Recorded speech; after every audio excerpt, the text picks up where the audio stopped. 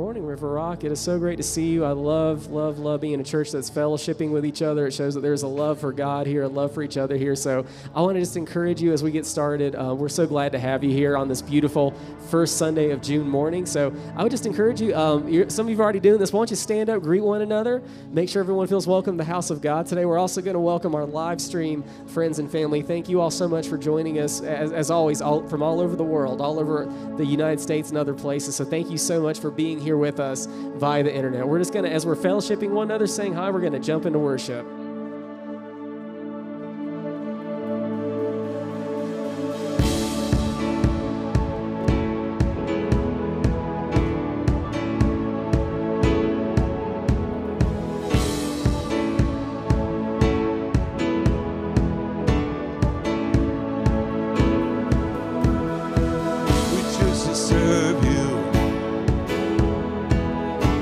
Follow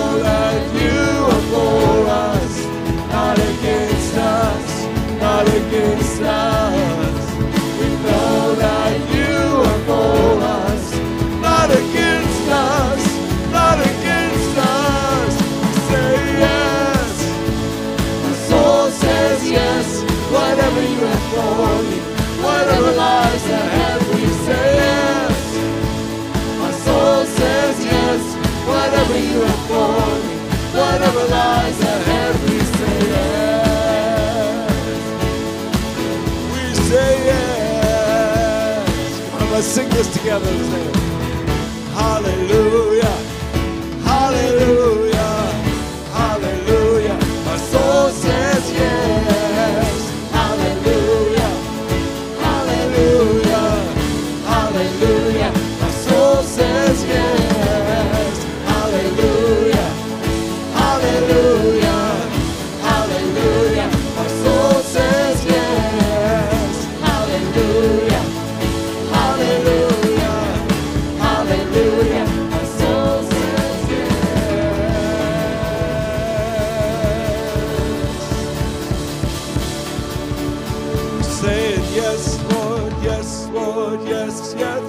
Remember this? Yes, Lord, yes, Lord, yes, yes, Lord. Yes, Lord, yes, Lord, yes, yes, no. I learned a long time ago it works a lot better than no, Lord, no, Lord, no. You ever been there? Oh man, come on, we got to give God our yes this morning. Yes, Lord, yes, Lord, yes, yes, Lord. Yes, Lord, yes,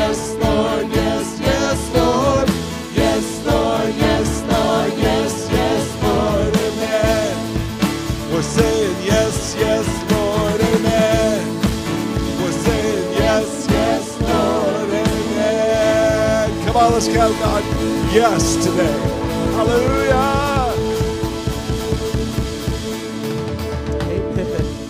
Let's give him our yes. Praise God. Can we just lift our hands as we thank him for this day that he's given us? Lord, we just thank you, God, that you have said yes to us too, Lord. And God, we just give you our yes right now. Yes, God, that we're going to open our hearts to you, God, that we're going to worship you in spirit and truth. Yes, that we're going to cast all of our cares at your feet right now, God. Yes, that we're going to respond as you speak to us this day, God. So, Father, we just bless this house. We bless the hearing and the doing of your word. We bless our live stream family, God, as they tune in and watching with us. Lord, we bless everyone here in this place. God, that we will just walk out of here knowing something about you. Maybe you didn't know, maybe reminded, maybe encouraged, maybe challenged. But God is walking forward better because we have been in this place with you today. So, God, we love you and we praise you. We thank you for all you've done, all that you'll do in Jesus' name. Amen. Let's keep singing, church.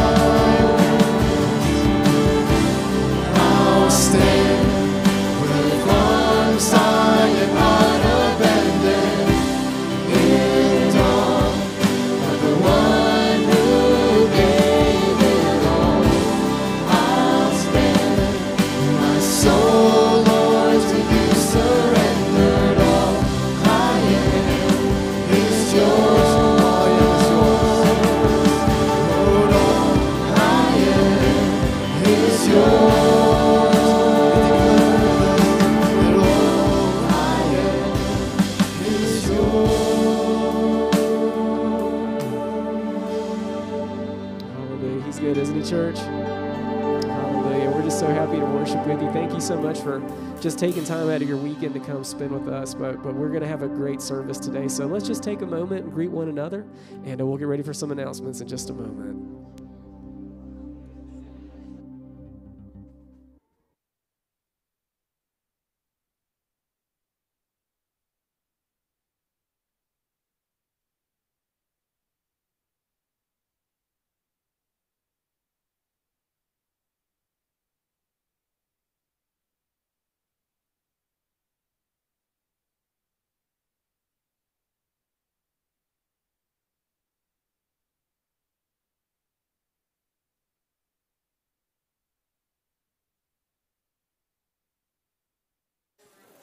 Good morning, church family. How are y'all? Good. Well, welcome back to church. Family time. We all get together. I've got quite a few announcements. You're going to have to listen in close. Um, but it is the first Sunday of the month. How many are here for the very first time? You're just visiting us? Welcome. Glad you're here. We're glad you're here. If you keep waving, we've got an usher who's going to give you a card. And if you fill that out and take it right out here, there's a welcome center. Drop that off. They will give you a free book just to say thank you for coming and joining us. We'd love to bless you with that. So, uh, the other thing is, this is Fellowship Sunday. And you know what we do on the first Sunday of every month? We recognize everybody who's born that month and celebrate you. And we also have lunch afterwards. So it's Miss Barbie White's birthday in June. so if you were born in the month of June, would you please stand and stay standing so we can celebrate you? Happy birthday to you. Happy birthday to you. Happy birthday, God bless you. Happy birthday to you. Woohoo! Okay, so if you saw somebody stand up that it's their birthday this month, would you just lay your hands on them? Because you know, we have the power of the blessing inside of us to release to others, right? So just lay your hands on somebody or stretch your hand out there. Father, we just recognize each person that you designed and brought into this earth in the month of June, God. Lord, we thank you so much for them. Lord, we thank you that they're part of the family. We thank you, Lord, that you have blessed them with incredible blessings, with gifts that you put on the inside of them, with talents, with the unique expression of who you are to everybody around them. Lord, right now we just release the blessing of harvest and an abundant life to them, God. We release a harvest in their areas of health and relationship and finances and everything that you called them to, Lord, that everything they put their hand to would prosper. In Jesus' name, amen. Happy birthday. So, after lunch, we've got, or after service, we've got lunch and birthday cake. So, make sure you go enjoy some of that. Um, I'm going to invite Emily Peters and Tori Meyer up here. They're going to do an announcement. How many of you are parents? How many of you know that it's the truth that you know that sets you free? So it's also been in our heart for Rick and I for a few years now to have classes that would rotate, that would just get the Word of God into us so that we're getting it in every area of our lives. So, marriage, parenting, finances, and freedoms in Christ has been what's been in our heart for a number of years. And we're excited to say that we've got a new parenting class that's about to start. And it's been in these two ladies' hearts, and it's time. Here we go. Hi, I'm Emily, and Tori and I have been praying about parenting class for several months, and we are really happy that it is coming to be. Um, let's see, we're going to use a platform, Danny Silk's Loving on Purpose. Um, so that's what we're going to use for our class. If you're a parent, you're definitely welcome to come. If you work with our kids, we would love to see you there too. I'm trying to think what else I was going to say. Okay, so the announcements are up on the board, like when it's going to be. Um, the other thing I was going to say is several weeks ago, our church got prayed over to be fathering and mothering, a church that fathers and mothers. So if this is in your heart to do, you are also welcome. So come, be blessed. We're going to get together. We're going to talk about tools to do parenting well. Not that we do it perfectly, but you know, we're on a journey together. Awesome. Thank you, ladies. So you see it starts this Tuesday, Tuesday night from 6:30 to 8 p.m. You can sign up online. It'll go until August the 2nd. So come in, jump in, and do that. Um, also, talking about kids and youth, we're going to have the first River Rock Church Vacation Bible School coming up. And so that's awesome. Miss Ginger has been working on that. It's going to be June 15th through the 17th. It's a morning vacation Bible study, vacation Bible school, um, from 9 to 11:30 in the mornings. So if you want to help volunteer, go back and sign up at the welcome booth. If you want to bring your children, sign up online. If you want to spread the word, pick up a bunch of flyers and take them and pass them out in your neighborhoods to your family, your work coworkers, all that good stuff. So we've got that going on. And then um, each week on Thursdays, John and Jacqueline, would you stand up and wave at us? They're your youth pastors. So every Thursday night for, at 6:30 they meet and they have pizza, they have games, they have fellowship, they have the word uh, and worship. And I love each week they just give us the update on how things are going, what they taught on. They're always focused on your kids having their own relationship with Jesus. That is huge to us.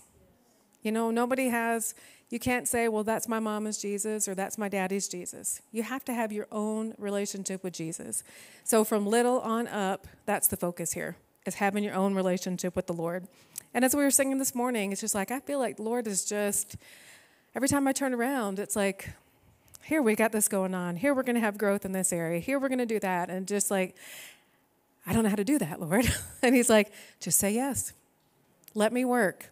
You have to say yes in order to give me permission to come in and do what I want to do. So thank you for singing that song, Daniel, and worship team. It was awesome. So, how many are with me? And you're going to say, whatever you say, Lord, I'm going to say yes. Yes. So, Lord, you got permission to move in all of our lives and our church. Um, coming up on Saturday, we've got a few things going on. Uh, Ironman Men's Group is going to meet this Saturday at 8 o'clock in the morning to 10. Come on out. Ray, are you in here? I think he was in first service. So Ray Patch leads that up. He's got an awesome father's heart. So come on in, get built up and ready to go out and parent and be a dad to your own natural kids or the one that God leads and puts on your heart. Um, incline young adults, 18 to 30. The incline is doing the incline this coming Saturday. So if you want to carpool, come here, be here before 9 o'clock Saturday morning, and they're going to all carpool over to park there. If you want to just meet over there, it's 10 bucks, I think, to park. Um, but they're going to bring, or you'll need to bring your own water, lots of water, bring a little snack. Um, there is a bailout point if you get up there and you think, I'm, I'm almost at the top. And you get up there and you realize, I'm not at the top. and you have no more strength or air to, con- to continue on, you can bail out, and there'll be some that'll just come on and finish. And then others who still have air and breath in their lungs and enthusiasm in their hearts to keep going, they'll go up and finish it together. So that is this coming Saturday. And then also is Miss Jackie here. I think I saw her earlier. Uh, nope, Jackie Chamacoon is going to be doing our next evangelism training, and it's this coming Saturday from 12 to 2 here at the church. And it's going to be continuing on from where she picked up before. So come, even if you're like, oh, I don't know about evangelism and I don't really like to talk to people too much, but come and just let the word work in you. Sometimes it's just we don't know enough, and coming, getting the word on the inside of your hearts, you never know what God's going to do with that. But you give Him something to work with. So that's the Saturday from 12 to 2, and that's it. Smile at your neighbor. Oh, no, I'm not done. The big poster in front of me should have reminded me. We've got a Living Proof tent crusade with Mario Murillo coming in July. And so we want to be involved as a church, and our community is getting involved. They had a big meeting yesterday, kind of kicking this off. But the dates are July 10th through the 13th, and it's going to be an evening service at 6:30. That Sunday, Monday, Tuesday, uh, Wednesday evening. And the dates here, if you would like to sign up officially with Mario Murillo's organization, go to mariomurillo.org and sign up there. And then if you're going to go with, um, if you're going to sign up there, we would just love to know who all from River Rock is going to be involved. So we can come together as a team and we can work together and meet and pray over this, these meetings and get ready to go out in July. So there is another sign up sheet at the Welcome Center if you would sign up there just to let us know that you're going. But that doesn't mean that you're officially signed up with Mario Murillo. So make sure you do both, please. And that way we're together. Um, there are cards out at the Welcome Center if you want to pick one of these up so you don't have to remember mariomurillo.org. They're right out there for you. Okay, now I'm done. Here's Rick.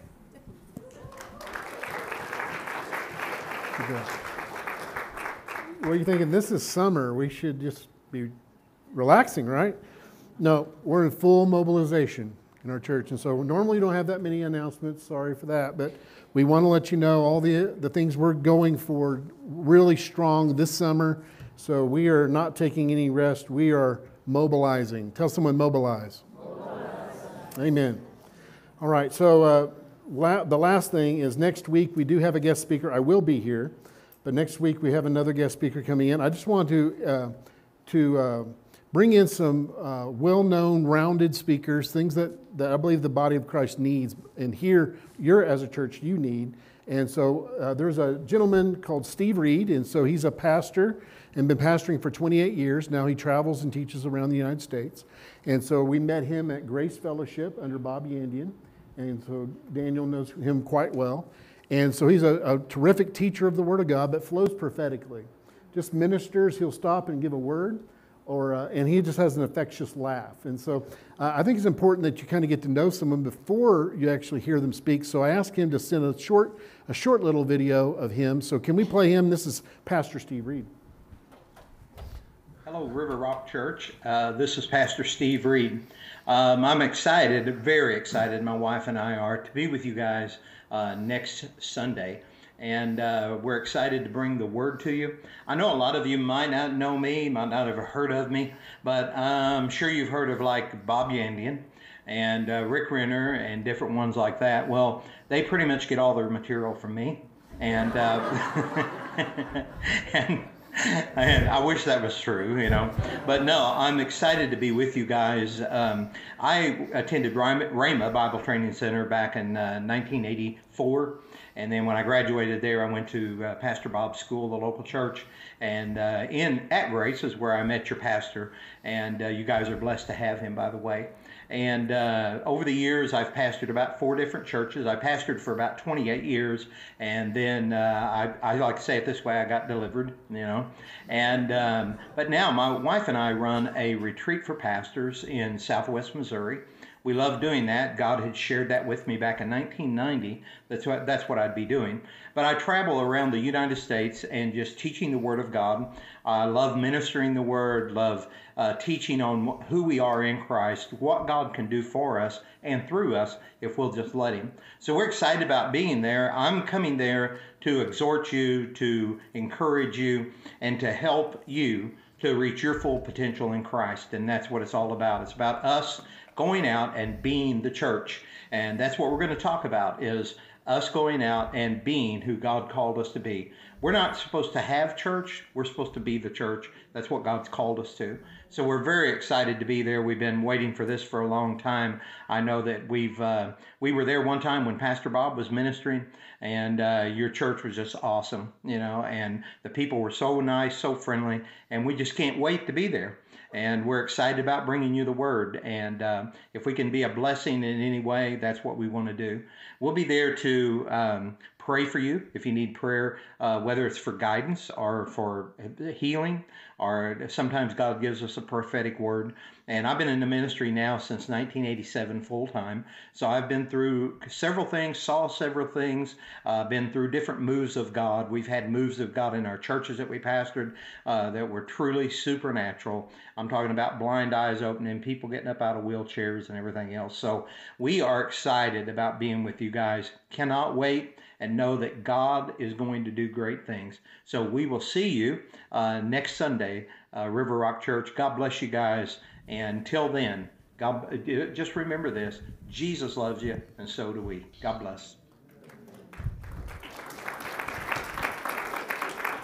Amen. So please come. You will be blessed by that. So you ready for the word? All right, Second Corinthians chapter 7.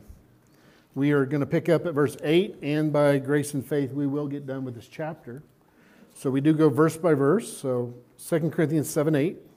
Let's read. For even if I made you sorry with my letter, I do not regret it, though I did regret it. For I perceive that the same epistle made you sorry, though only for a while. Now I rejoice not that you were made sorry, but that your sorrow led to repentance. For you were made sorry in a godly manner that you might suffer loss from us in nothing. For godly sorrow produces repentance leading to salvation, not to be regretted. But the sorrow of the world produces death. For observe this very thing, that you sorrowed in a godly manner, what diligence it produced in you, what clearing of yourselves, what indignation, what fear, what vehement desire, what zeal, what vindication. In all things you proved yourself to be clear in this matter. Therefore, although I wrote to you, I did not uh, do it for the sake of him who had done this wrong, nor of the sake of him who suffered wrong, but that our care for you in the sight of God may appear to you. Therefore, we have been comforted in your comfort. We rejoiced exceedingly more in the joy of Titus because his spirit has been refreshed by you all. For in nothing I, uh, for in if nothing I have boasted to him about you, I am not ashamed but as we spoke all things to you in truth, even so our boasting to Titus was found true. And his affections are greater for you as he remembers the obedience of you all, how with fear and trembling you received him. Therefore I rejoice that I have confidence in you in everything. Let's pray for our spiritual meal. Father, I thank you so much for the word of God today that you've assigned for us to hear this today. Father, I thank you that it is filled with nourishment that we need. Father, I thank you, Holy Spirit, that you are here to anoint the eyes, ears, and heart of each person that's listening. Open them by the gift of your grace and cause them to see, hear, and understand what you're saying. Father, I thank you for ministering in a way that they hear directly from you, and only you can do this miracle. I believe it's happening right now. In Jesus' name, amen. Let's go to verse 8. Let's start unpacking this. Verse 8 again says, For even if I made you sorry with my letter, I do not regret it, though I did regret it for I perceive that the same epistle made you sorry, though only for a little while. Paul in this verse says that I wrote you a letter and it made you sorry. What letter is he referring to? He's writing to he's referring to 1 Corinthians. 1 Corinthians was probably the strongest corrective letter we found in the Bible, especially in the New Testament. We find a corrective letter there. And so the Corinthian church was Paul's trouble church. And so there was a trouble. If you think you've been part of a troubled church, then just look at Corinth and that gives you hope. And so, if you go to Paul was dealing with several problems in the church. Uh, he's right off the bat in the first three chapters, he talks about that there are there was strife in the church, that there were disunity. They were picking one minister over another. They were fighting and bickering. There were schisms, and Paul said, "You're just babies. Grow up." And then he talks about there were people suing each other in the in the congregation, that they were uh, they were taking each other to court and dragging their personal issues before heathen, before unbelievers. And then Paul later on deals with um, abuse of uh, of, uh, of sexual uh, propriety. Matter of fact, there was a guy in the church sleeping with his stepmother, having sex with his stepmother. And so they were, instead of being sorrowful about it, they were boasting about it. They were saying, look at what the grace of God that's in our church, that God is moving in our church and we have this kind of sin. Isn't that awesome that we have such grace in our church? They were actually boasting about this. Then Paul had to deal with the misuse of the gifts. They were all excited and that they could speak in tongues and they were spirit filled and they were all getting up and giving each other messages all at the same time in tongues. And Paul says, No, you're causing chaos. Just do it decently in order. And then there were some that were getting drunk at the communion table.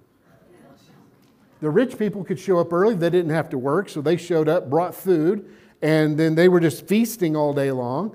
And by the time the poor got off work, there was no food left for them. And by the time they showed up, they were drunk.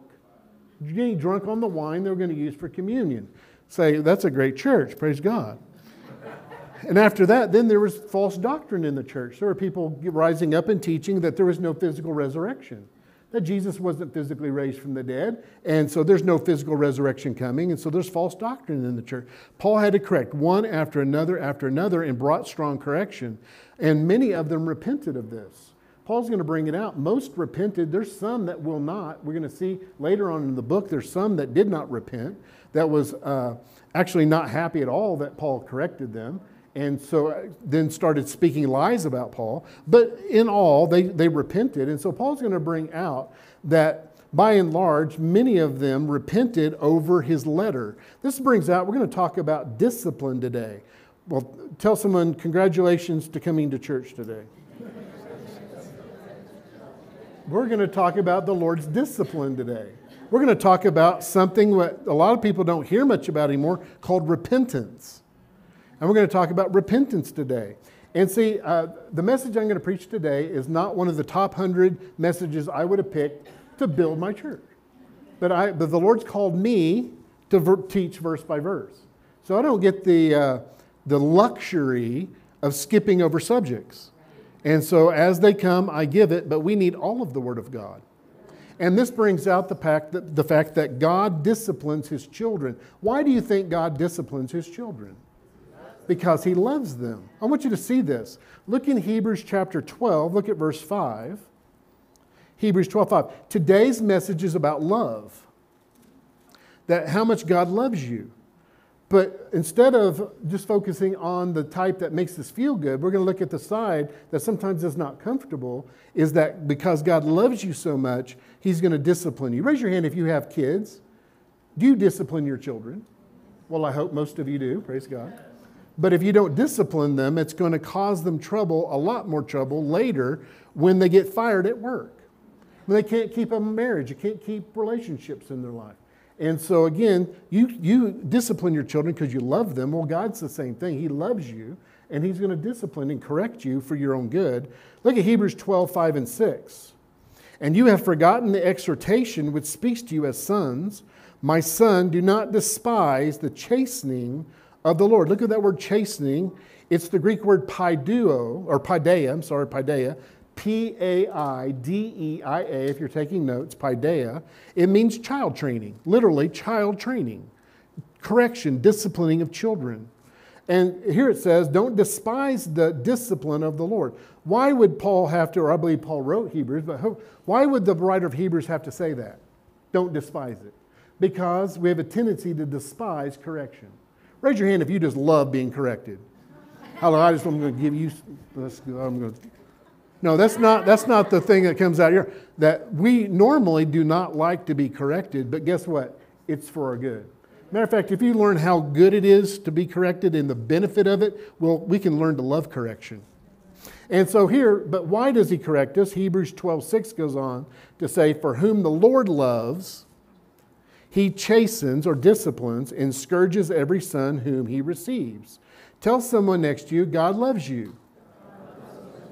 Now tell someone else, that's why he's correcting you. Hallelujah. He loves you so much. And so he's going to discipline you because he loves you, but how does he discipline you? This is where religion gets it wrong. Well, God's going to discipline you with sickness. He's going to discipline you with cancer. He's going to discipline you with an accident that you have, or a calamity that visits you, or a tornado is going to come and run your house over to discipline you.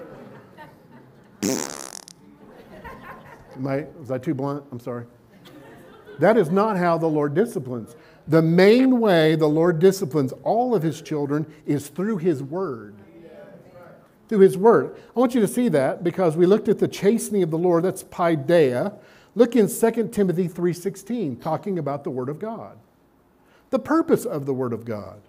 2 Timothy 3:16 says some scripture Oh, I'm sorry.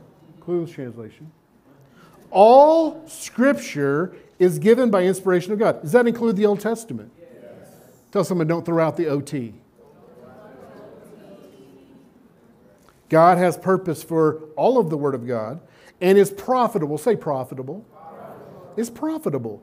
And he's going to list what it's profitable for. First of all, for doctrine. That's teaching. Teaching. But I want you to see the next two things, they're not pleasant.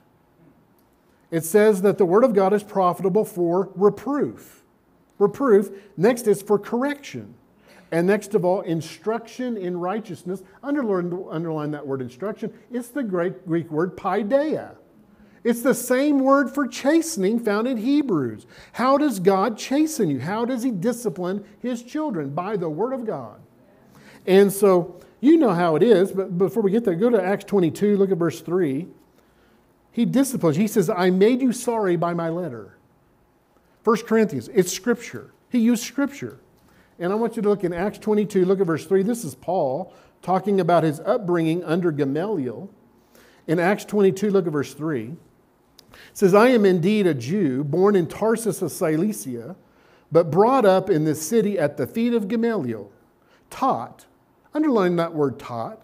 It's the Greek word paiduo, the verb form of paideia. It means child trained, disciplined. Disciplined according to the strictness of our Father's law and zealous towards God, and you are today. He said that I was disciplined by the Word of God. At that time, the Old Testament was the Scriptures, and I was disciplined by in, in the Word of God. And so you know, don't look so holy and righteous today. You know how that is when the word actually pierces into your heart. The word of God is sharper than any two edged sword, piercing into the heart. And sometimes I've had the word of God pierce into my heart, and I say, you know what, I almost wish I could have had a spanking. Because the word is pierced right into my heart. Ouch, ouch. Touches that area that I need to deal with that I didn't want to face. And you know how I, you know, you've been like me. It's like you're, God's dealing with you in an area of sin. Yes, I use the word sin. We don't like to say the word sin. We like to use the word my mistake, my issue. No, sin. And the Lord's given grace to overcome sin. And so we need to deal with this. And so God's dealing. What is. Preach it. Oh. All right, thank you. I'll need your help later. But the Lord's telling us to deal with certain things, and so we're just in our own time. I'm going to open up the Bible, and so you open up the, it just flops open. You put your finger on it. It's a verse dealing with your area. Oh, so you flip over, and then you find another place, and it's the sister verse. Out of all the Bible, you find the sister verse dealing with your issue. Then you're like, well, put that Bible open. Let's just worship God. And then you get into your, you know, that's morning, you get in the car, I'm going to listen to Andrew's podcast. And Andrew's on the verse, talking about the verse. Well, I don't like that. You flip over and you tune in Joyce Meyer. I'm going to get a good word from Joyce, and she's dealing with it. And then you go to church, and Pastor talks about the thing. And the Lord's dealing with you. He's trying to correct you through His Word. Guys, if we'll let the Word discipline us, then we don't have to go to the second level because if we're not listening to the Word, our circumstances will spank us. Our consequences from our actions will spank us. You know, one thing about grace, I love the grace of God. Vertically, by what Jesus has done, He's removed all sin and all punishment from God. So, vertically, we're forgiven before the Father. That's a wonderful truth. But there's a horizontal aspect to our life in the life. And if we're living in sin, sin has consequences. Sin has uh, byproducts, it has effects to it, and the grace of God doesn't automatically remove all your consequences. Praise God, you can seek for God's mercy, and God's mercy will help you through those things. But the things you sow, it's still the Bible. It says, Whatsoever a man soweth, that he shall shall reap. And if he sows of the flesh, of the flesh, not from God, of the flesh, he'll reap consequences. And so we have consequences. So let the word of God correct you, but don't but you don't have to let your circumstances spank you. And so we have that here that God wants to use his word. And Paul says, I wrote you scripture and it did its work. It actually brought you to a repentance. It made you sorry. And it says, when I wrote that letter, I actually regretted writing that sermon. I writing that series or writing those verses that I wrote to you. It's like when I wrote it, I said, you know what, was I did I do the right thing? Was I too harsh with them? He said, I regretted it when I wrote it, but now when I see what it did in your life, I don't regret it anymore. He says, I don't regret it. And so look at that word regret. We're going to find out this is one word for uh, repentance, and it's the Greek word metamelomai, M E T A M E L L O M I A, metamelomai. This word means to feel differently. This word means to feel bad about. Paul said, You know, when I wrote this letter, I felt bad about it, but now that I see the result of it, I don't feel bad about it anymore. I did feel bad about it. And it's just going to bring out that this is one word for repentance. We're going to find out there's another word for what true repentance is. That's going to be a different Greek word, but hold on, we'll get there. And so in the ministry, you can't be led by your feelings. There's times that you're going to have to correct people. It's not going to feel good. It's not going to feel good that you do that. But it's important that you still be faithful to do that. And so Paul brings that out. And so uh, he says, I do not regret it, though I did regret it. And so, Paul, as parent, raise your hand again if you're a parent. There's been times when you've disciplined your child and they're crying. You've spanked them and they're crying. And the thought comes to you, say, was I too harsh? You know, I, you know, you're hurting because they're hurting. And did I do it too much? And did I, was I wrong in doing that? No, you weren't wrong. If you did it righteously, not in anger, then that's what they needed, and it's going to produce uh, good things on the other side of that. I've heard parents say this, and my parents said this. When I was about to get spanked, they said this This is going to hurt me more than it's going to hurt you. Sure. Right. And then you become a parent. And this hurts me more than it hurts you when you see them crying and see them in pain. But you know what? On the other side of it, there's benefit from it. There's the peaceable fruit of righteousness that comes by it. And Paul says, I perceive that the same epistle made you sorry. Look at that word perceive. This brings out that repentance can be perceived. Perceived, you can see it. It has a tangible physical result. For I perceive the same epistle. That's the Word of God the Word of God made you sorry. And says, and so look at Hebrews chapter 12, look at verse 10.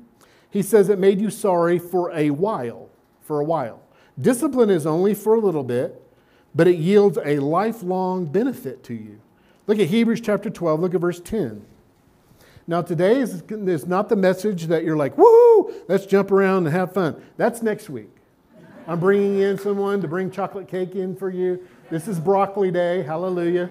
Just put your hip uh, over your nose and just swallow. Because this is filled with nutrients and we need this. And so look at Hebrews chapter 12, look at verse 10.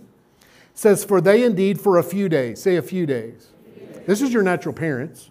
For indeed they for a few days chastened us or disciplined us as it seemed best to them, but he, God the Father, for our own profit. Say profit. Where did we see that word? 2 Corinthians 3:16 for all scripture is given by God and is what? Profitable. Profitable. He again will, will discipline you through his word and brings profit to you. It says, But he for your profit, that we may be partakers of his holiness, his wholeness, his completeness. Look at verse 11. No chastening or discipline seems joyful for the present, say for the present, but painful. It's painful. Nevertheless, afterwards it yields the peaceable fruit of righteousness to those who have been trained by it. So today we're going to talk about discipline, we're going to talk about repentance. but really we're talking about how much God loves us. And so it's very important as we get through this, because we're going to go deeper, I'm sorry, and then it's going to get better. And so I just want, it's very important at this point, I make a disclaimer that I'm not speaking to you, I'm speaking to your neighbor. me and you's like this. You stick in with me, all right? Because we're like this. All right, here we go. Verse 9. Now I rejoice, not that you were made sorry, but that your sorrow led to repentance. For you were made sorry in a godly manner, that you might suffer loss from us in nothing. Look at the word. Here it says that you, your sorrow led to repentance. Look at the word repentance. It's a different Greek word. It's not metamelomai. It doesn't mean to feel bad. This Greek word is metanoia. Metanoia. M E T A N O I A. This word literally means to change your mind. To change your mind. See, if you'll change your mind in what you believe and what you think, it will always impact your actions. It will turn you around 180 degrees. One time I was watched an interview by uh, a, a young basketball player that came out of college, Jason Kidd, and so he got grafted by the, the, the, the uh, Phoenix Suns. Uh, and, and so, so he got drafted, and they interviewing him says, "Now, do you think you can have an impact to this team, the worst team in the league?" He says, "Absolutely. I'm going to turn this team around 360 degrees." no, no, we need 180 degrees. Okay, we don't want to go back the way we were. We want to go 100. So, so when you receive the word, the word will change the way you think, change the way you believe, and will change 180 degrees the way you act. And so there's a difference between the first type of repentance, metamelomai, and metanoia. What's the main difference? One is you just feel bad about it. You feel bad about it. And so you can cry a river. You can fill a whole Kleenex box full of snot and not truly repented one single bit is you felt bad about the consequences. You felt bad about the situation you're in. You don't like where you're at. You don't like the, what the consequences are. And so you feel bad about that. But that has nothing to do with true repentance. True repentance is to change your mind, change what you believe. That changes your actions. Now, you can have tears with that. There can be some snot with that, but it's not, oftentimes, it's not. It's just you've changed what you thought about it. Because you see people come up and fall on the fall at the altar and they just cry and cry and cry just because they're doing that doesn't mean it's true repentance. And so it says you were made sorry in a godly manner. Say godly manner. So Paul used a godly manner or method to bring them to sorrow and repentance. So Paul said, You sorry, sorry, was sorry or repented in a godly manner. So the saints of God will repent in a godly manner when the minister ministers repentance in a godly way. What, what am I saying? What's some ungodly ways that ministers try to get the people to act different? There are some ungodly ways ministers across the body of Christ today are using to try to get people to change their actions. The first way is through anger. They get angry. They're angry at what someone's done. And so, out of anger, they discipline their people and try to, out of anger, get them to do something different. The last thing you need to do to discipline your children is when you're angry. Especially as a leader, when you try to correct something, wait till you're settled down a little bit. Jesus is the greatest example of this. You know, two times he cleansed the temple where he had righteous indignation at the thieves and the thing the money changers and stuff. He just threw their tables off. Looked like Jesus was going berserk. What happened to Jesus? The one that holds the lamb. and looks emaciated. No, Jesus, righteous anger, he's throwing tables. But guess what? Before he did that, he, he cleansed the temple twice. At the beginning of his ministry, it said he went in and sat down. He just kind of looked around and just kind of acknowledged everything going around and spent time braiding a whip. He just spent time just flipping and looking over there and flipping and just making it until finally he got done and got up and went after it. He did was under control. It didn't look like he was, but he was. Second time he cleansed the temple, he went in, looked around everything, and left and slept on it. Came back the next morning and dealt with it. As a leader, you need to make sure you've settled yourself emotionally before you deal with something.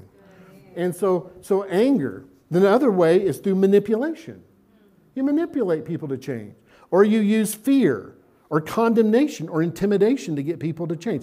That's all ungodly. Paul used a godly way that caused them to sorrow and repent in a godly manner, which is the Word of God by the Holy Spirit. By the Word of God. So instead of, I've, I've never, I, I never uh, ever have an intention of trying to clear, you know, fix somebody. I'm going to use my sermon and get them. No, I just trust and I just teach verse by verse and, and I just allow the Holy, invite the Holy Spirit. And the Holy Spirit does that work and it produces a godly manner. And so again, Paul said, again, you sorrowed in a godly manner that you might suffer loss from us in nothing. Paul said, You know what? I was concerned when I wrote that letter. Did I hurt them? Did what I sent them, did it hurt them? And then he looked back and saw the result and said, No, no, it helped them. It helped them. So I'm not going to regret or be, feel bad about that anymore. And but if you correct out of anger or intimidation or manipulation and all these, you will hurt people. You hurt people. So you don't want to hurt people. Look at verse 10. For godly sorrow produces repentance, metanoia, a change of mind. For godly sorrow pr- produces repentance, leading to salvation. Well, Pastor, I thought I was already saved. Yes, you are. If you believe in Jesus, your spirit saved. This is talking about your soul. This is talking about your emotions getting saved. This is talking about your finances having wholeness, in your relationships at work, in your marriage being healed. This is talking about the whole salvation package that you have spirit, soul, and body. And so Paul says godly sorrow produces repentance, leading to salvation, not to be regretted, not to, that you're going to end up not feeling bad about it anymore when it's actually done. That the sorrow of, but the sorrow of the world produces death. You know, there's a sorrow, a godly sorrow, but there's a sorrow of the world. What's the difference? The world's sorry about the consequences. It's sorry that they're in the situation. They don't want to be in the negative situation they found, and so they cry a river and they're all upset about it, but there's no change of mind. There's no change of beliefs at all. You know, everybody that suffered in hell hasn't changed their mind, truly changed their mind and repented. They all feel bad about their situation. Well, Pastor, how do you know that? Well, I know because the Word of God tells me that. Remember the rich man and Lazarus? The rich man misused Lazarus and treated him like a lapdog his entire life. And then one day, uh, Lazarus was taken to heaven because he believed on the Lord, and the rich man didn't accept the Lord, and he is in, in torment. And what did he say to Abraham? Hey, why don't you fetch Lazarus and send him over to serve me? He never changed his thought, never changed his thinking one bit. If some, everybody in hell would walk out, they'd be excited that they don't have the consequences, but they had not changed one bit. This brings out an example of a worldly sorrow that produces death is Judas. Judas, actually, I want you to look in Matthew.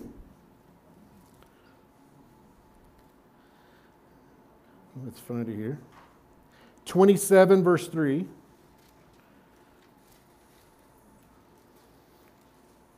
Matthew 27, verse 3. This is Judas as he betrays the Lord. Then Judas, can you put the King James up? Yep, there it is. Then Judas, which had betrayed him, when he saw that he was condemned, repented. He repented. Greek word metamelomai. He felt differently. He felt bad about it. But there was no change in his thought, no change in his beliefs. He's sorry that that happened. Do you know what Jesus was thinking? You know, I'm going to hand him over. I'm going to get 30 pieces of silver. I'll hand him over. But you know what Jesus is going to do? What he did every, every time else there was a crowd that came to get him. He just walked right through. He'll, he'll walk through. He'll be fine. And then somehow I'll explain it on the backside of it, but I'll get my 30 pieces of silver. Jesus will be okay. But no, he wasn't okay. He was actually condemned, and he felt bad about it. But it led to death. He went out and hung himself. Peter almost did the same thing, betrayed the Lord Jesus, but he actually repented, metanoia. He changed his mind, and he actually went to the Lord. And so that's the two difference. And that brings back worldly, just worldly sorrow. There was a comedian, famous comedian, who had done something despicable, made a despicable um, commercial about President Trump. And, and uh, it was a despicable thing, and everybody just denounced her because how gross it was, how despicable it was, no taste to it. And so basically, all her sponsors dropped her. All of, uh, all of her shows just dropped her to where she was going to have shows. They all canceled her. And so she's on national television crying. that president's fault. no change of heart, no change of thinking. She just was sorry of the consequences. Worldly sorrow. It says, godly sorrow produces repentance leading to salvation, not to be regretted. But it says that worldly sorrow produces death. And so I want you to look in verse 11. For observe this very thing. Say, observe. observe. Paul's going to give seven signs of true repentance. Seven signs of true repentance. And all of them can be observed. True repentance can be observed. And so Paul's going to bring out seven signs that are observable, that are hallmarks of true repentance. Not worldly sorrow, not worldly repentance, but godly repentance.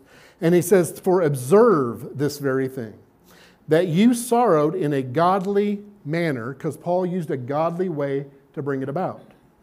What diligence it produced in you, what clearing of yourselves, what indignation, what fear, what vehement desire, what zeal, what vindication? In all these things, you proved yourself to be clear in this matter. So, Paul's going to give seven signs. Seven in the Bible speaks of what's complete. What's complete? You want complete repentance? These seven aspects will be in your repentance. So, look at the first one. Paul said, observe this very thing. He says, first of all, what diligence? What diligence? it produced in you. Look at the word diligence. The Greek word means to make haste or do something quickly. Godly repentance means that you repent quickly.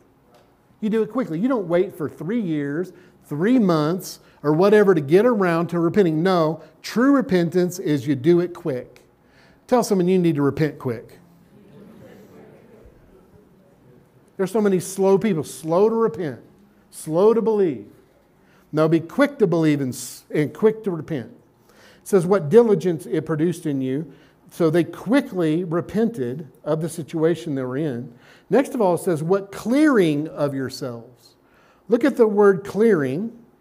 The word clearing is the Greek word apologia, A P O L O G I A. Apologia, we get an English word from this word. Where do, what, what English word comes from apologia? Apology apology. They were quick to apologize. Quick to apologize. This is another sign of godly repentance. You're quick to apologize. This is the hallmark of maturity. I've seen so many people that when they've done wrong, they can't apologize. They have trouble saying, I am sorry. I am wrong. So when they say they go to say that, I was I was I was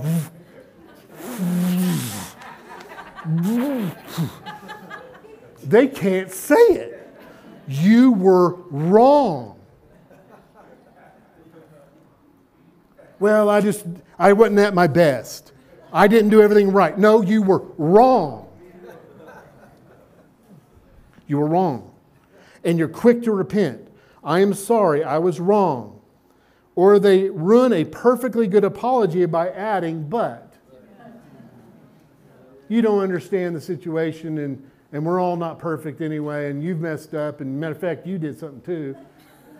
Yeah that works well doesn't it? Especially if you're a husband that works really well. Ingredients of a true apology. There's ingredients to true apology. I want you to write these down. Ingredients of a true apology. First of all an, a genuine expression of regret a genuine expression of regret then acknowledging how your actions impacted others. That's called empathy.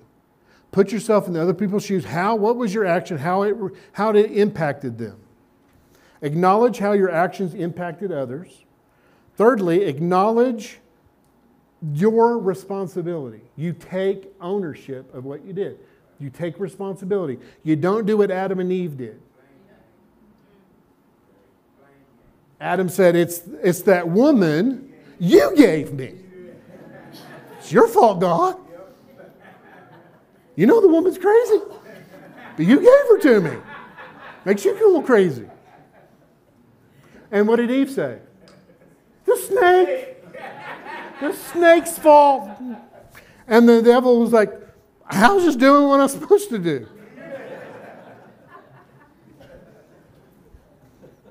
Expression of regret, acknowledge how your actions impacted others, acknowledgement and take responsibility, take ownership of it. I did this. Name it. I did this.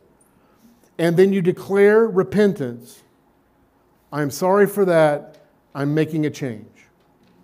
Then you offer, offer, offer to repair the situation if possible. You offer to repair it, and then you request them to forgive you. Will you please forgive me?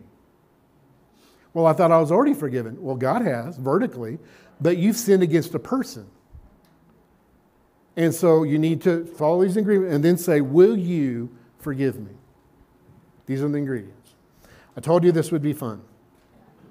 Let's move on to the next sign of true repentance. What indignation? This word indignation means anger, and it means indignation. So, what does this mean? Godly repentance will have a righteous anger towards the sin attached to it. Godly repentance will have a righteous anger towards the sin attached to it. You will not repent from a sin that you've justified yourself in doing or you're rejoicing in or pleased about. We say it again. You will not repent from a sin that you have justified yourself in doing or you're rejoicing in or pleased about. You know, in your spirit, you hate sin. In your spirit, you have not sinned, it's your soul. And your soul might be attached to a certain thing, but you need to come in line, come in agreement with your spirit man, because that's who you are. You're, you're a spirit being. You need to start speaking, I hate that. Because in your spirit, you do. Don't go by your feelings. You go by what you know in your spirit. You hate that. I hate that, detest that, abhor that. And I don't do that. Come in line, come in agreement with your spirit. Next of all, what fear? The Greek word fear means reverence. Reverence for God. Because every time you sin, you leave God out of the picture. You don't focus on the God. To sin, you have to just focus on the situation, the temptation, and you just push God out of your mind. If you'll put God in your mind and you reverence the Lord, it'll keep you from sin. That what kept Joseph from sinning. He says, I fear God. I have God in my thoughts all the time. And so, next of all, it says, what vehement desire. That means you have a strong desire to please God. You have a desire, a strong desire to please God. Next of all, it says, what zeal. Zeal is something you do with your actions. And so you act on your change of mind and make a practical change. Zeal means you're zealous about changing the situation. Lastly, what vindication? Vindication means to provide justice for a wrong. What does this mean? You, as much as possible, you make right your wrongs. As you make right what you've done wrong. These are all aspects of true repentance you don't find in worldly sorrow. You don't find in worldly repentance.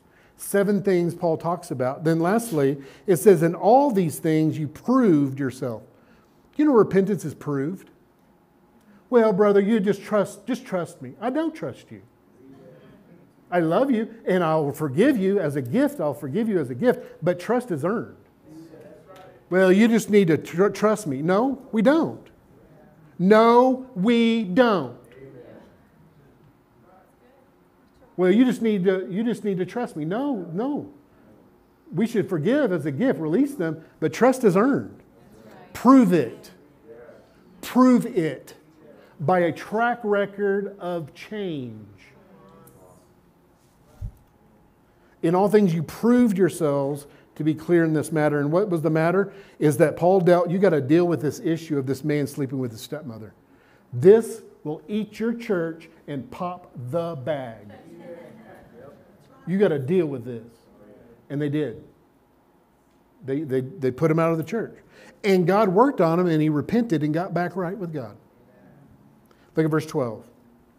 Therefore, although I wrote to you, I did not do it for the sake of him who had done the wrong, nor for the sake of him who suffered the wrong. He says, I wrote to you, but it wasn't about really the person that done the wrong. That's the guy sleeping with the stepmother. So I really didn't, that wasn't the main reason I wrote because of that guy. Nor did I really write the letter of him that was wronged in the situation. Who was the one wronged in the situation? That guy's dad. He was sleeping with his dad's wife. And he wronged his dad. He said, well, I didn't really write it for his dad. I wrote it about because of you, because this thing's going to eat your church and you needed to do something with it. He says, But I wrote it for the care for you in the sight of God might appear. Verse 13 Therefore we have been comforted in your comfort, and we rejoiced exceedingly more for the joy of Titus, because the Spirit was been refreshed by you all. He had sent Titus with 1 Corinthians. He says, Titus, go and try to work through this situation. I don't know what's going to result because of this letter, but let's see how it goes. And Titus came back and said they received it. By and large, they repented. They got it right. They fixed that situation with that guy. They turned the situation around. Now, some of them aren't very happy with you. Some of them started talking about Paul, accusing him, lying about him, but by and large, the church repented, and Paul was refreshed and it was filled with joy because of this. He says, We rejoiced exceedingly more for the joy of Titus. Titus came back filled with joy based on what happened because his spirit has been refreshed by you all. You know why church is so important? Because you get refreshed by the people next to you. Tell someone next to you, you refresh me. Tell, some, tell someone else, you're like a tall glass of cold water.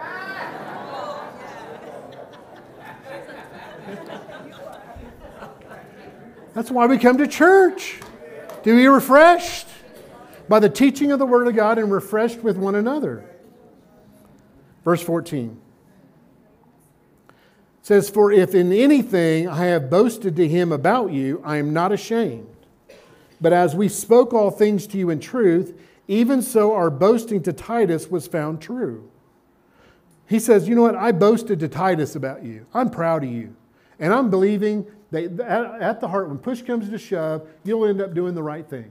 Your heart's right. You just need to be corrected some with the word, and you'll get it straight. So I boasted, said, Paul, I really believe this church is going to turn around. I believe in this church. And guess what? Titus came back and said, You're right, Paul.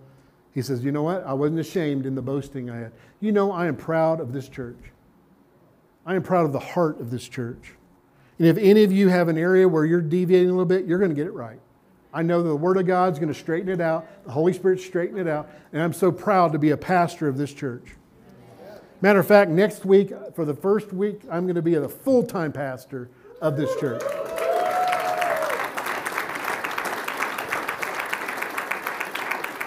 Up until, time, up until this time, I've been a part time, full time pastor of this church. But bless God. And I'm looking forward to the, the, the messages being of a higher quality than they've ever been. I'm looking forward to that. Amen. All right. Verse 14 For in, if anything, I boasted to him about you, I am not ashamed. But as we spoke all things to you in truth, even so our boasting to Titus was found true. Verse 15 And his affections are greater for you as ever. He's more he, he's in love with you guys more than ever before as he remembers the obedience of you all. He's basically saying, all of you that repented, all that were obedient, there's going to be a segment in the church that were disobedient. We're going to find that later in chapters. Paul has to deal with this segment of the congregation, but he's speaking now to the congregation that repented. He says, The obedience of you all, how with fear and trembling you received him. Fear and trembling received Titus it's very important how you receive a man or woman of God. Because how much you can receive from God. He says, You through fear and trembling received him. Verse 16. Therefore I rejoice that I have confidence in you in everything. He says, You know what? I have greater confidence than ever before in what God's doing in your life, that God has great things for you, and I have the same thing for you. Now, before we close, I want to talk to you about Repentance in the Bible means to change your mind. Change your mind. What does that mean? That means that you're the steward of your own repentance. What does that mean? That if you'll stay in the Word daily, the Word of God will keep changing your mind. You know, those that raise your hand if you've been to Charis Bible College, first year, second year, third year, right now. Did your life change? Yes. Why? Because your mind changed, your beliefs changed. Matter of fact, you didn't realize that you went through three years of a process of repentance. You repented for three years. And most of the time, it wasn't with snot, wasn't with tears, but your mind changed. But guess what? You'll continue to be the steward of your own repentance. If you'll stay in the Word, the Word will correct you, keep correcting course corrections. It will continue to change your mind, and you can on purpose repent. On purpose get better and profit. And so bow your heads. Father, I thank you for the Word of God today. Thank you for the letter that was written here. And you say, Pastor, I want to on purpose be the steward of my own repentance. There may be an area you're like, you know what, Pastor, there's an area I know the Lord's been dealing with me on, and the Word of God is basically pierced into my heart, and I know I need to deal with these things. I need to look at those seven aspects. Are they there? Do I need to apologize to someone? Do I need to repent today and apologize? And those ingredients of, a, of an apology, do I need to put that into practice? That may be you. But you say, you know what? No, I'm, I'm good. There's no area. But you can make a commitment today to continue to be a steward of your own repentance. And so if that's you, either there's something that you the Lord's been dealing with you and you're ready to you're ready to deal with it today, or you're making a commitment. I'm going to be a steward of my own repentance. I'm going to be in the Word of God like never before. If that's you, I want you to stand to your feet. Stand to your feet. I'm standing to my feet. Well, I was, but I am now. Father, I thank you for those that are standing. That, Father, you would show them what needs to be made right. They would go through these seven aspects of what true repentance is. And Lord, by the power and grace of the Holy Spirit, Lord, there will be true repentance being brought forth by the Word through the Spirit of God. Not by effort, not by willpower, but by the Word of God and the Spirit of God. Father, I thank you that they're going to be stewards of their own repentance, continually changing their mind, correcting their thinking, correcting their believing, correcting their lifestyle, so they can be a partaker of your holiness and bear fruit, a peaceable fruit of righteousness. I thank you for it, Lord, in Jesus' name. Amen. Let's worship God together. Amen. Why don't you continue standing with us, please?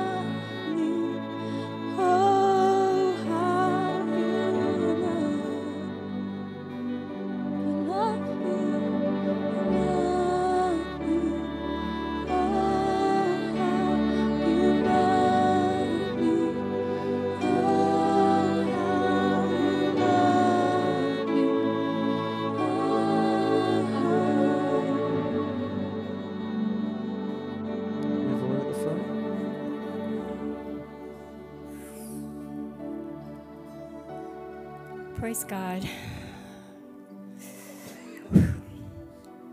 I grew up on the Gulf Coast, so I have weathered many hurricanes in my 75 years.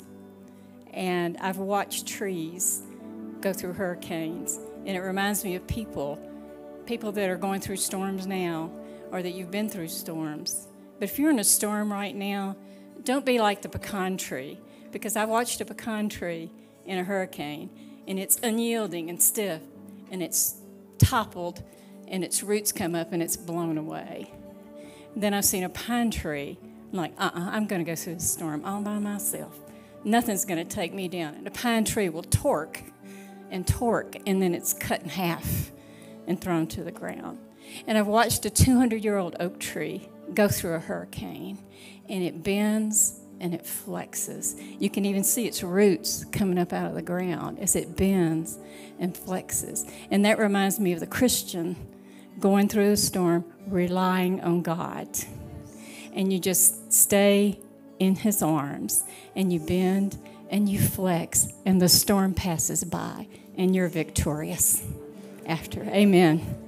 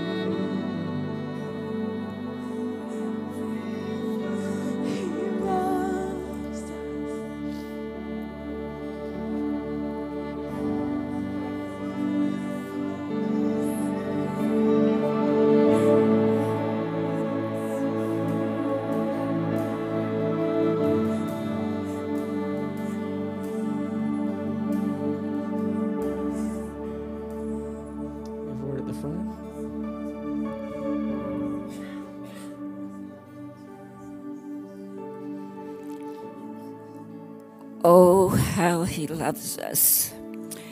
The Lord gave me verse Ephesians 3:19 to know the love of Christ which passes knowledge that you may be filled with all the fullness of God. I had a dream years ago, been over 20 years ago. God came down in that dream and he hugged me. And the love that flowed over me was the most amazing thing I have ever felt. It changed my life at that moment. I asked the Lord, How can I keep this? What do I need to do? He said, Press in closer. And I'm thinking, How do I press in closer? I started reading my Bible a lot. And that love has never left. I can love people I don't even like. And, and I have met people I don't like. But God loves them, and He lets me know I love them. And He doesn't call me to love them with my love, with, with what I can muster up. But He loves me, loves them through me, and I benefit from that because I get the love. And you can't explain it. There's no words to explain it. But if you get quiet before the Lord and just let Him love you, just let Him hug you, you will see a strength, a peace, a joy come upon you that is beyond beyond our knowledge. And God's got it to give to every one of us. So just reach out and take it.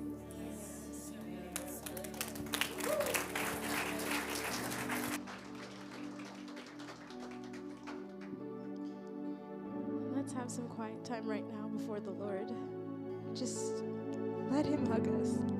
Just receive His love.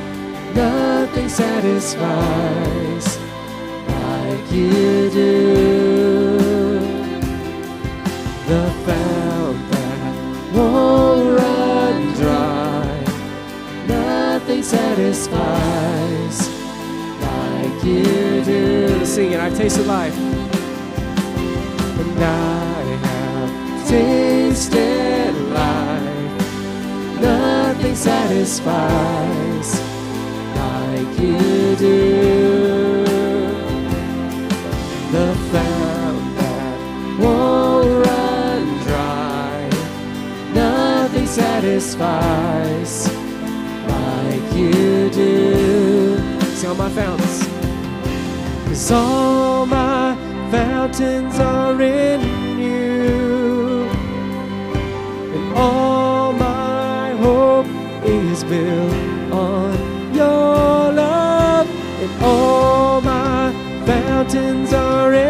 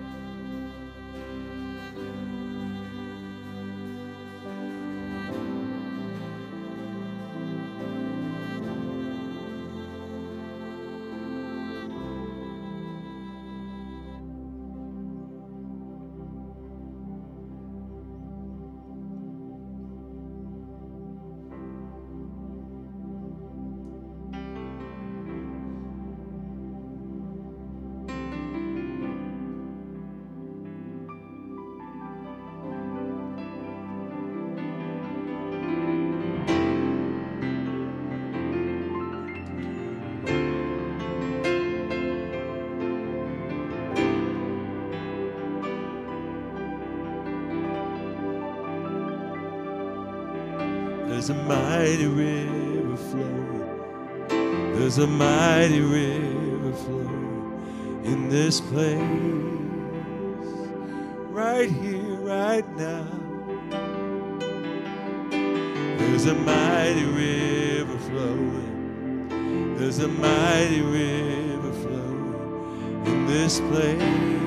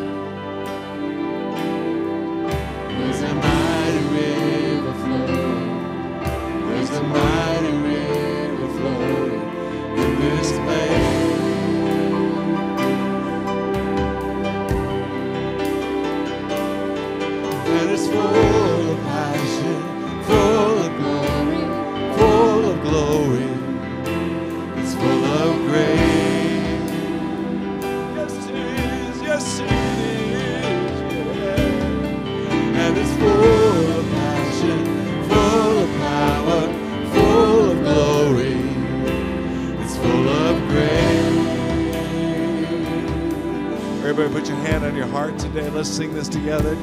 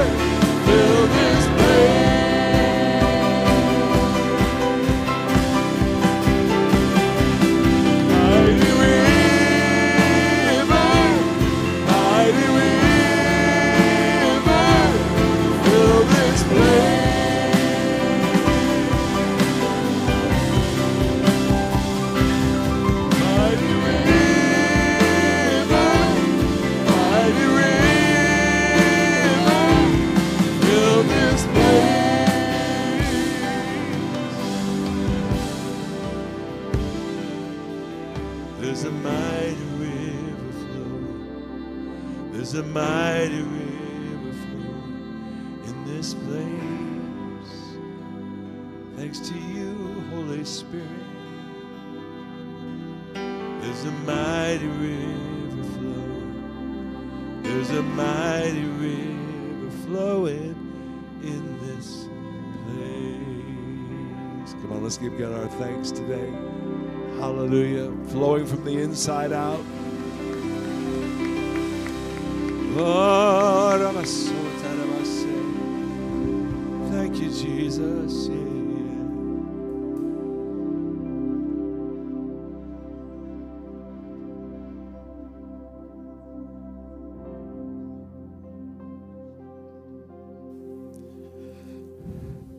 Well, if you didn't get the message today, you weren't paying attention. This is a little longer service today, but the Lord wanted to take extra time to tell you how much He loves you. He loves you and has nothing but good for you. Father, I thank you for your love of your people, that you're willing to tell them the truth, and you're willing to tell them the whole truth because you love them so much. I thank you, Father, for it in Jesus' name. Amen. You can be seated. We want to continue to worship the Lord and reverence Him with our tithes and offerings. So, ushers, please pass out the offering envelopes as you're filling those out. We have a few more minutes of worship, and then I'll be back up to pray for the offering.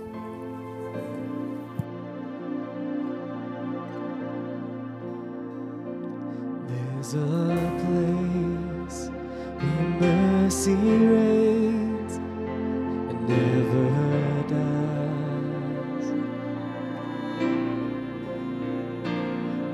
a place where streams of grace flow deep and wide.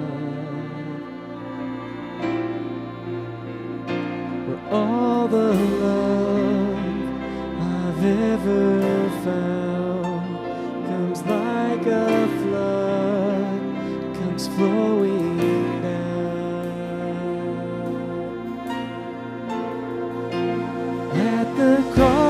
at the cross, I surrender my life. I'm in awe of you. I'm in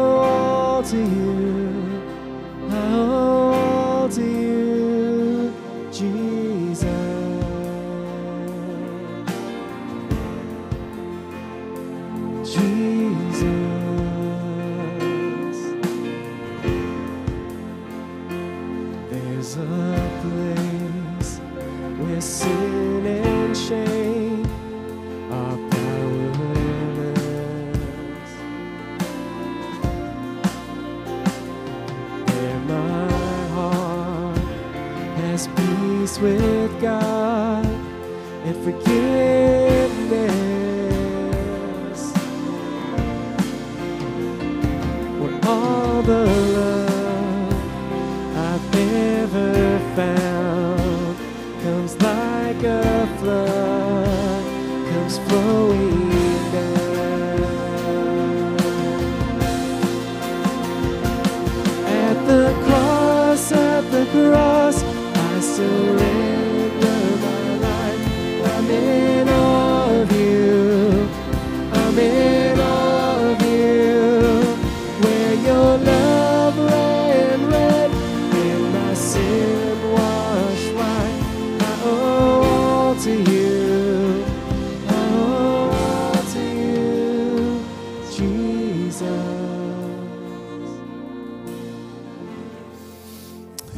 We owe all to you.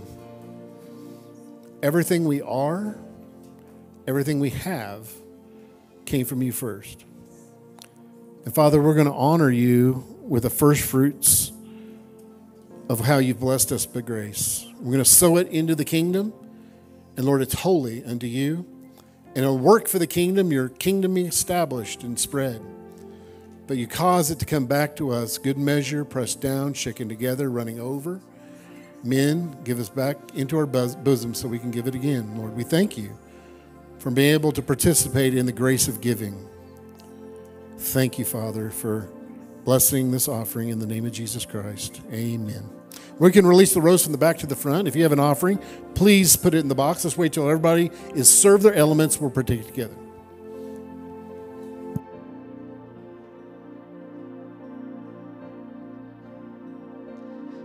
There's a place where mercy reigns and never dies.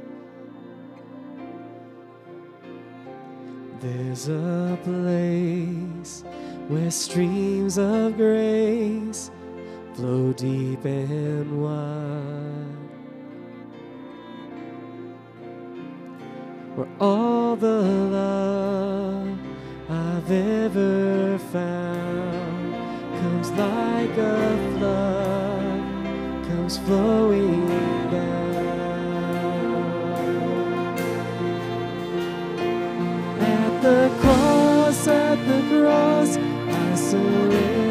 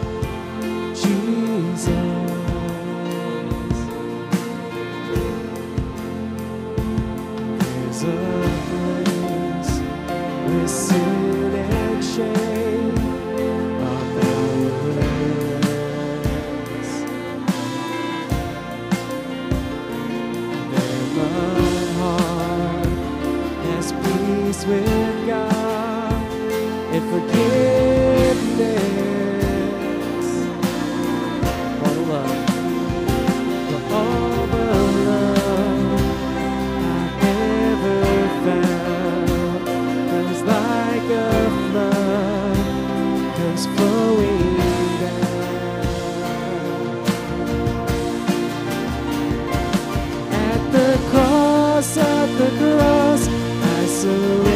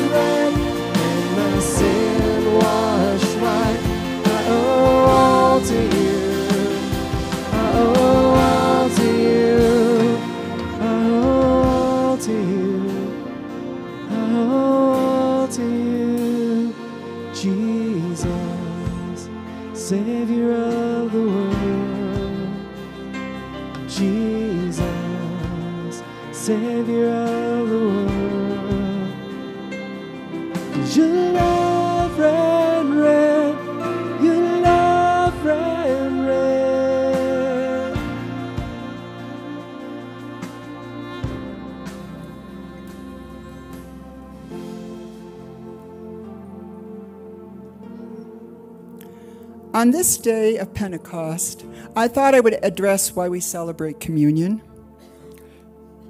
Over 2,000 years ago, our Lord Jesus Christ suffered an incomprehensible punishment for a debt he did not owe to make us debt free. The only obligation on our end was to receive this freedom by acknowledging Him as our Savior and allowing Him to direct the path of our lives as we confess our sins of the flesh. We did not have to call or email Him or be put on hold. There was no customer service angel that we had to talk to to justify our reason for the call. No paperwork to fill out to introduce ourselves to Him, since He knew us from the foundation of the world. We did not have to make an appointment. He was there the moment we called out. No down payments, no expiration dates, no waiting period. We don't have to remind Him of our credibility or our credit rating or how we are justified. He took care of it all. It never expires. We operate with His credit rating, which is perfect.